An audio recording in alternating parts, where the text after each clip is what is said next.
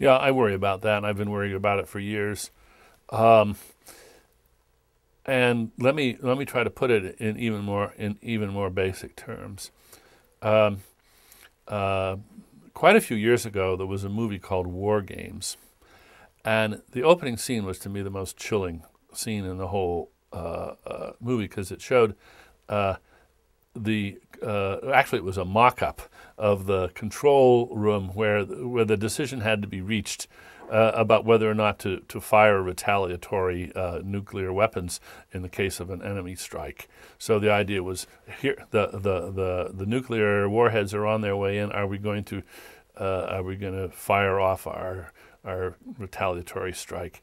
And in the in the movie, uh, there was a fail-safe system. Two people had to turn the key or something, and some of the soldiers wouldn't turn the key.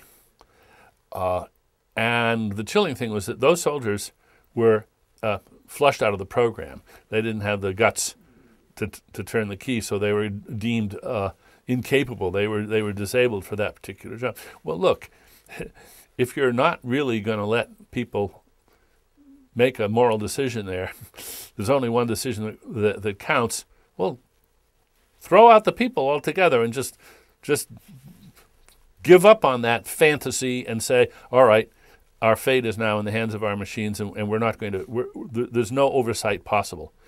Now, now that's a chilling idea, and but it's also coming in areas like medicine, where it takes some real courage and maybe foolhardy courage on the part of a doctor to overrule the diagnosis or even the treatment regime proposed by some artificial intelligent uh, uh, analytic machine.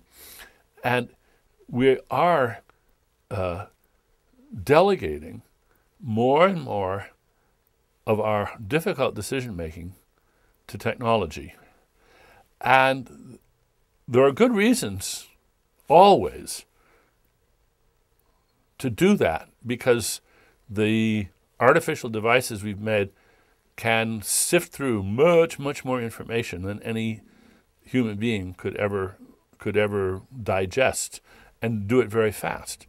But the downside is that uh, we're really um, cut off then from playing the direct controlling role on some very important matters.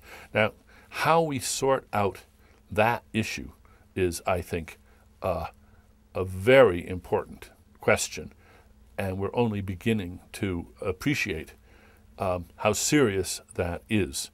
Uh, I have tremendous sympathy for uh, an appreciation of those people who, who dimly or, or acutely perceive that the encroaching uh, use of decision making technology is uh, uh, both threatening and promising to take decisions out of our hands.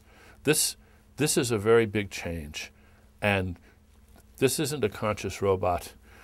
And if you're worried, you're, you're, you're looking in the wrong place for something ominous.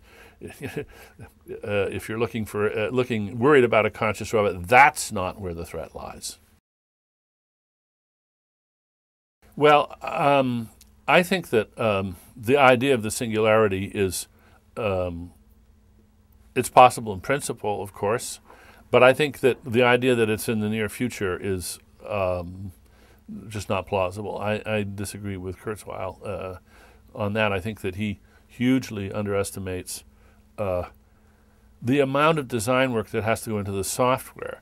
Let Moore's law reign triumphant. Let we've got a petaflop machine now, and so yes, we can we can we can perform trillions of floating point operations in a second now. Uh, but we don't know how to harness that power, and it's going to be a long time before we do. I can certainly imagine that. I think that uh, we should look ahead as best we can and see what we can do to steer research and development in benign directions. And I think there are there are real pitfalls to avoid. Uh, I think that the uh, um, uh, gene splicing technologies have given us a pretty good example of uh, the sorts of safeguards and controls that we want to include in, in, in that area of research. I think there's room for more of that. I think we do want to worry carefully about the side effects of nanotechnology, uh, for instance. Uh, and yeah, just as look, we've we've had some great successes, which which should be more, they should be more dramatized.